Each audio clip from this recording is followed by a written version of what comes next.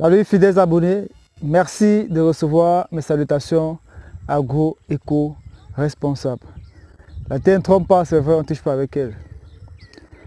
Ravi une fois de plus de vous servir dans cette vidéo chez Agripreneur où nous allons parler de la chose qu'il faut éviter de faire absolument ou régulièrement chez votre vendeur de terrain ou chez les riverains dans la localité où vous avez acquis votre terre pour pratiquer l'agriculture.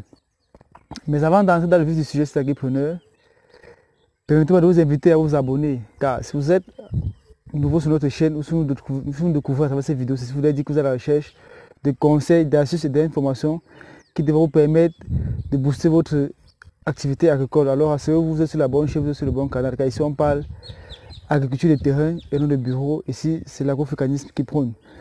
Revenons au sujet chez agripreneurs. Nous voyons beaucoup euh, de promoteurs qui ont eu à acquérir les espaces pour l'agriculture dans les villages.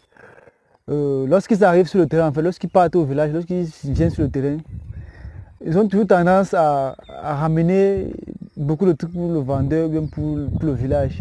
Que ce soit les huiles, l'huile, euh, le vin, le whisky, le vin rouge à manger. C'est bien beau. Mais ce que vous devez comprendre, c'est qu'il faut éviter de faire ça régulièrement. Si vous, faites 10 descentes, ça ne veut pas dire que pendant ces 10 descentes, vous allez acheter toujours ces provisions pour ces vendeurs de terrain. Non. Parce que quand vous faites ça, ils s'habituent à cela.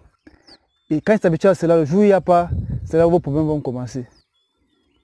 Et on vous parle des cas où on a vu. Euh, on avait une promotrice comme ça, chaque fois qu'elle descend sur le terrain, elle va prendre l'huile, elle va prendre le vin rouge, elle va prendre le whisky, elle va prendre à manger. Elle donne, elle donne, elle donne, elle donne. Mais un seul jour elle est descendue sans ça, elle a failli payer cher pour cela.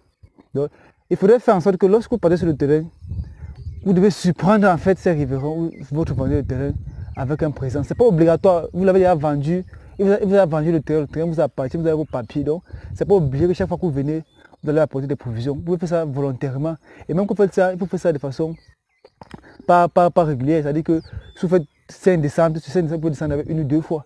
Qui ne parce que chaque fois qu'il va vous voir, il s'attend à avoir des provisions. Non, ce n'est pas bon parce que ça peut vous apporter beaucoup d'ennuis et beaucoup de soucis dans le village. Parce qu'une fois, une fois, il va s'habituer à ça, et l'autre, il n'y aura pas, votre mot pourra, oui, je vous, vous assure, votre mot pourra arriver par là. Donc, on voulait juste attirer votre attention, vous, promoteur, promotrice, à ce niveau-là. Que lorsque vous achetez terrain quelque part, vous avez respecté toute la procédure, rassurons-nous, que vous avez respecté toute la procédure, qu'elle soit administrative ou traditionnelle, et que le terrain vous appartient, vous n'êtes pas obligé, chaque fois que vous descendez, de faire des provisions à votre vendeur ou au riverain. Vous pouvez le faire de façon intermédiaire, pas régulier en fait. C'est ça que je voulais attirer votre attention dans cette vidéo aussi parce qu'on a vu des cas où ça a apporté beaucoup de soucis. Donc, espérant que ceci vous a été utile que ça a attiré votre attention et que vous saurez mettre cela en pratique pour votre bien-être aussi pour vos emplois sur le terrain à votre absence. Disons très bientôt pour un sujet encore plus intéressant, encore plus alléchant. C'était comme ça pour le chantier d'Agrofocus. Comme toujours, pour servir avec beaucoup de plaisir et beaucoup de bonheur.